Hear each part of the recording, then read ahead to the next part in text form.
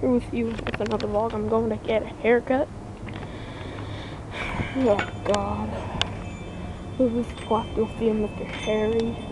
I'll make a video of the aftermath. So, be right back.